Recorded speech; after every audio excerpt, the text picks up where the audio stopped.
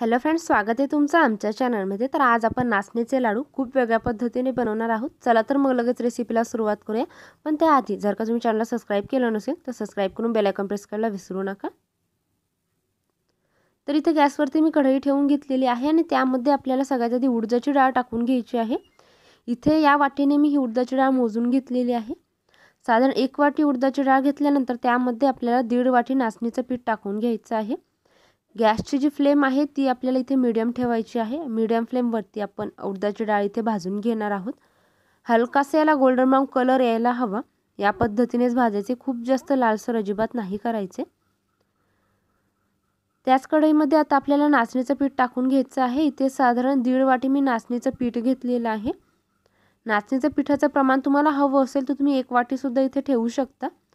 तर नाचणीचं पिठंसुद्धा आपल्याला इथे भाजून घ्यायचं आहे. गॅसची फ्लेम मिडियम ठेवायची.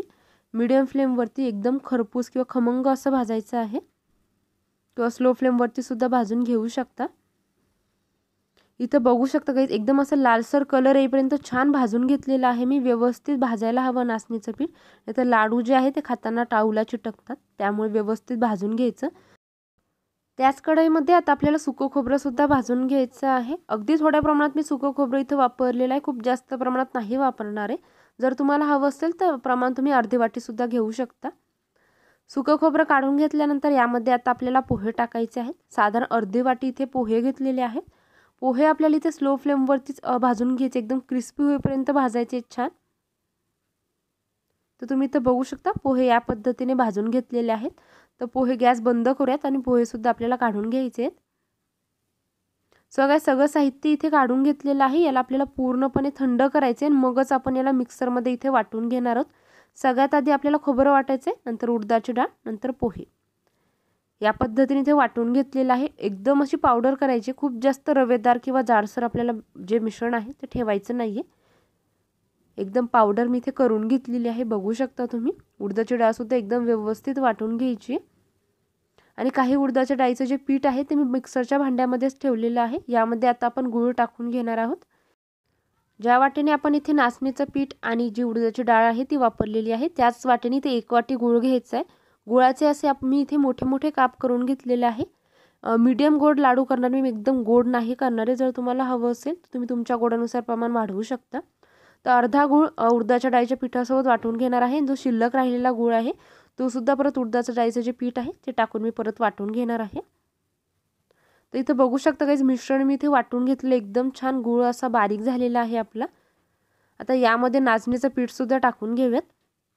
व्यवस्थित आपल्याला हे जे सगळं मीठ पिठं आहेत ते मिक्स करून घ्यायचे आहेत. एकदम व्यवस्थित मिक्स व्हायला हवेत.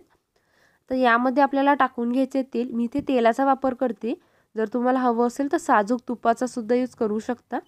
ज्या वाटीने आपण मेजरमेंट घेतलेलं आहे त्याच वाटीने इथे मी एक वाटी तेल घेतलेलं आहे.